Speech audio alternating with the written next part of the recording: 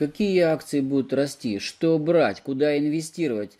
Э, у меня постоянно спрашивают. Давайте попробуем ответить на этот вопрос.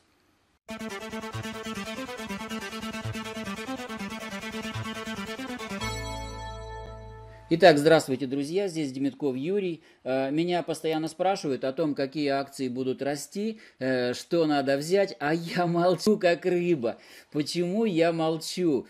Потому что, ну, сейчас все крайне неопределенно. А, а может быть и определенно. Давайте посмотрим на наш любимый график S&P 500. Давайте вспомним, что с ним произошло. Вот вы сейчас видите график S&P 500. Посмотрите, как он выглядит. Вот сначала, с середины января, все резко пошло валиться из-за того, что э, пошли ограничения, коронавирус и прочее, закрытие границ, остановка производства, ну и так далее, со всеми вытекающими. Э, значит, естественно, на слухах все это повалилось вниз, вниз, вниз и упало. Но потом, после того, как э, Америка начала предпринимать очень активные действия, и все центробанки – что начали делать? Сначала они начали снижать ставку, это происходило вот здесь. Не помогло. Начали э, дальше бесконтрольно печатать, вливать в экономику бешеные деньги. И для того, чтобы остановить вот здесь. И это помогло. Вот он, отскок. Но пока еще ограничения по коронавирусу не сняты. И что будет дальше? Люди говорят, ну вот же акции уже растут, они начали расти, что брать, скажи. А вот э, недавно э, мне прислали просто вот, э, ну, мой э, финансовый консультант, говорит, опрос. Давайте э, мы с вами попробуем воспроизвести этот опрос. Что будет дальше? Смотрите, э, вариант первый – предполагается. Давайте проголосуем. Вот там вот вы увидите голосовалочку, я сейчас организую опрос. Э, вариант первый. Акции продолжат расти и будут расти дальше. Это первый вариант.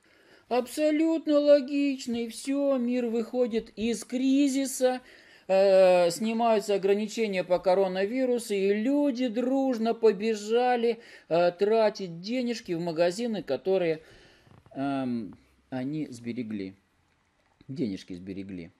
А, кто за этот вариант?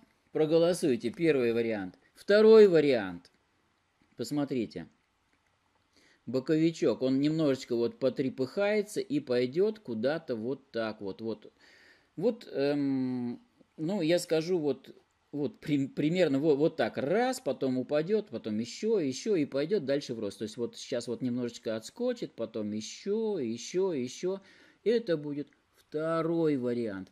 И вот третий вариант э, следующий будет. Смотрите, хопа, вот он вырос, да, вот сейчас он потрепыхается немножко и упадет еще глубже. Это вариант номер три. Э, давайте проголосуем. Какой вариант кажется вам наиболее вероятным? Вариант номер один – рост. Вариант номер два или вариант номер три. И вот отсюда уже потихонечку рост. А, скажу честно, я считаю, что будет вариант номер три. И поэтому я вот э, как бы не очень-то и советую покупать сейчас акции. Почему я так считаю? Ну, смотрите, эм, вот этот вот вариант, э, вот этот вот рост был обусловлен огромным вливанием денег. Будет продолжаться вливание? Да, будет. Скорее всего. Но э, возможности бюджета не безграничны и, э, ну, есть у меня подозрение, что это не поможет. Вот. Ну, или как-то поможет, э, тогда вариант номер два. Но, друзья мои, вот почему я опасаюсь варианта номер три и пока еще не могу вам посоветовать покупать акции по следующей причине. Потому что э, в первом квартале это падение было, и оно было колоссальное, и сейчас э, уже начнут э, отчитываться компании. О чем они будут отчитываться? О прибылях или об убытках? Как вы думаете за первый квартал? Ну, очевидно совершенно, что они будут отчитываться за убытки. Теперь еще один момент. Э, на, наступает пора э, выплаты дивидендов. И дивиденды – это часть прибыли. А акции берут многие ради того, чтобы получать дивиденды. Так вот, фигушки будут вам дивиденды. Вот что я могу сказать, потому что многие компании уже отказываются от выплаты дивидендов. А что это значит? А это значит, что настроение у инвесторов падает. То есть сначала акции упали, да еще и дивидендов не будет. Вот так. Поэтому, ну, э, есть, в общем-то сказать, э, все основания, может быть, для того, чтобы подождать и не вкладываться в акции. Вот э, так я могу сказать. Вот, э, то есть, смотрите, экономическая активность, когда восстановится? Не факт, что сразу. Да, и этот опрос, ну давайте уже конкретизируем на горизонте ближайших двух месяцев, скажем так, до середины лета. Дальше пока не буду предполагать. Вот, ну давайте увеличим размер графика этого и посмотрим на него вот здесь. Смотрите, вот, вот он отскок, и дальше, смотрите, волатильность уменьшилась. Что это значит? Смотрите, помните, кто занимался на курсе биржа для чайников, э, помнят, что когда я рассказывал про индикаторы э, ленты Бойлинджера, что это такое? Сужение диапазона. Волатильность падает. О чем это говорит? О том, что э, готовится потихонечку, потихонечку готовится резкий рывок. Куда он будет? Вверх или вниз?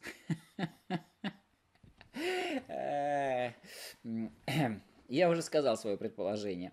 Вот. А, и индикатор Вильямса то же самое. О чем он говорит? Вот здесь он говорил, что, в общем сказать, ребята, э, будет скачок, а вот здесь вот индикатор Вильямса говорит, что...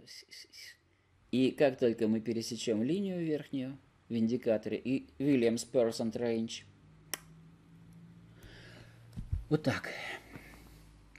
А вы думаете, а, какой вариант будет? Ну, а теперь давайте посмотрим, а, что можно сейчас приобрести, что будет давать а, доход. Ну, вот в частности, давайте посмотрим на те продукты, которые есть у меня, про которые я говорил еще с осени прошлого года, что их надо брать. Вот у меня структурные продукты ИИС, у меня остался только один такой продукт – Тогда еще можно было за 100 тысяч купить его. И вот я его купил в самое неблагоприятное время. В самое неблагоприятное время. 23 января я его приобрел. Этот структурный продукт. То есть, когда все только начало падать. Этот структурный продукт дает мне 20% годовых прибыли. Все только начало падать. Смотрите, вот он, 22 февраля еще не упала, то есть, ну, то есть они все начали падать, но еще не сильно. И я получил здесь купон 20% годовых, а потом все грохнулось, ребята. Вот те, кто взял вот здесь, ну, у них уже все позакрывалось на самом деле. И те, кто взял вот здесь этот продукт, да и здесь то же самое. Вот, я взял в самое неблагоприятное время – вот, вот оно самое неблагоприятное время. Ну, здесь да, а вот, вот отсюда уже благоприятное время было. Смотрите, все акции грохнулись и, начиная где-то середины марта, начали расти. Вот так. Они начали расти. Посмотрите, и э, вот они две линии. Если все четыре компании, акции – находится выше верхней линии, то это автокол закрывается все, получается очередной купон, и все денежки назад возвращаются. То есть, э, как бы, э, э, до чего хороши эти автоколы? Потому что они работают до выхода из кризиса. Выход из кризиса закончился, пошел рост, все, ваши деньги возвращаются, инвестируйте в акции сами, потому что акции растут быстрее. Вот, а автокол дает 20% годовых. Смотрите, что дальше. Э, а дальше, а если хотя бы одна из акций ниже, чем нижняя вот эта линия, то э, фигушки выплачивается купон. И посмотрите, вот они все четыре ниже. Я не получил вот этот купон. Теперь смотрите дальше. Одна акция выше верхней линии, две акции э, внутри, скажем так, диапазона, а третья ниже, чем нижняя линия я тоже не получил купон. И теперь смотрите, вот он, ближайший купон, который будет 22.05. Я не получил купона, я повторяю. Ежемесячное наблюдение. 22.05. Смотрите, э, Мосбиржа выше порога отзыва. Магнит вырос и, в общем сказать, все поговорят, что он будет расти. Дальше. НЛМК, металлургическая компания, сейчас, в общем-то, не самые лучшие времена, но э, начала потихонечку восстанавливаться и ползет потихонечку вверх. Э, Сбербанк. Сбербанк внизу находится. Долго он будет внизу находиться? Думаю, что нет. В общем-то, у Сбербанка э, я бы не сказал, что что-то там плохое происходит.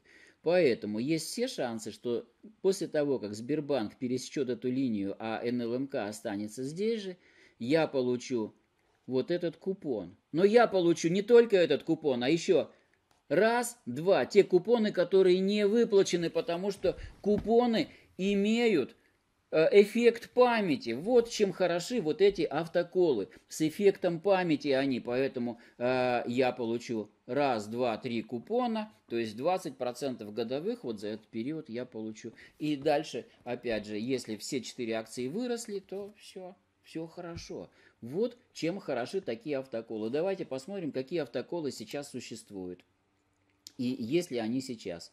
Ну вот он, быстрый купон, 20% за год, возрождение роста 15% за год. Я сейчас не буду подробно останавливаться. 17% э, ежемесячный купон. Здесь есть гарантии выплаты. Вот, скорее всего. До 25% э, годовых. Вот он, э, такой у меня был. Автокол, он закрылся. Вот он, ежемесячный потенциал номер один. Он закрылся. Железные аргументы. Здесь стопроцентная защита капитала, насколько я понимаю. То есть ничего не упадет. Гарантия.